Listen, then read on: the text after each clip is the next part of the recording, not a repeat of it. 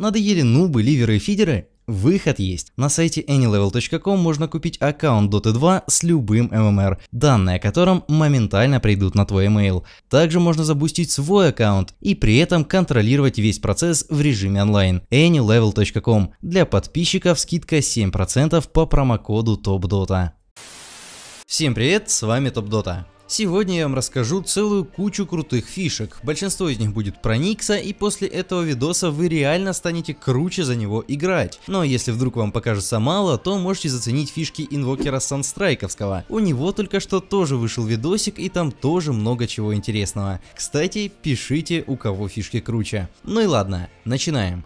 Все фишки Никс Ассасина. Хотя бы одну из них вы точно знаете и хотя бы одну точно нет. Но я постараюсь вас удивить. Итак, фишка номер один. Как подконтрить Разора. Если этот чертяка бегает с бешеной скоростью, виляет и не дает себя застанить, то на помощь нам приходит его пассивка. Она наносит урон всем, кто наносит урон Разору. Следовательно, если мы соединим это с нашими скиллами, то мы, можно сказать, обернем оружие Разора против него самого. Просто включаем Карапаси и прожимаем Мана Берн урон. Вам прилетит совсем немножко до магии, но зато Разор словит Карапаси и встанет на месте. А за это время вы без труда попадете импейлом. Больше от вас Разоры убегать не будут. Следующая фишка. Она вам позволит безопасно убивать красных некров. Некров собирают нередко, за их убийство дают немало голды, но вот убивая красного, он вам откусит пол лица. Имейте это в виду. Но к счастью, мы играем за Никса, поэтому мы можем просто прожать Карапаси перед убийством, и ни одна единица урона по вам не пройдет. Но самое главное это вовремя эти карапаси прожать, а то они могут закончиться, а некравы добить не успеете. Вот тогда будет обидно. Идем дальше. Вы можете юзать Вендетту во время телепорта.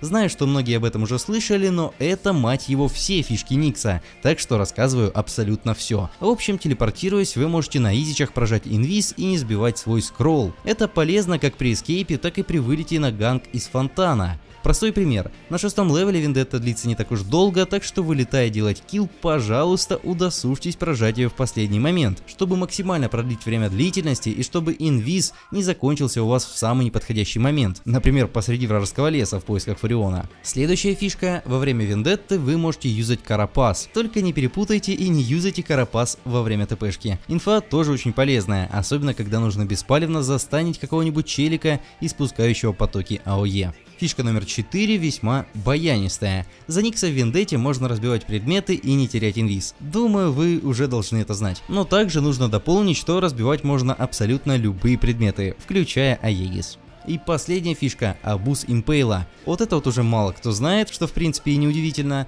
но стан Никса действует на более длинный range, чем написано в описании. Можно сказать, что стан просто вылетает более длинный, чем должен. Посмотрите сейчас на зеленую полоску. Она показывает, что стан до врага не дотягивается. Однако, если прожать стан чуть ближе, то шипы все-таки долетят до врага и он получит full дамаг и оглушение. А вам не придется к врагу подходить. Так что имейте это в виду и давайте свои станы с более длинных рейнджей. Ну а на этом все. Ставьте лукасы, чтобы я делал видео чаще, а также смотрите ролик инвокера. А если вы сами пришли сюда от инвокера, то можете просто подписаться и чекнуть мои предыдущие ролики. Удачи!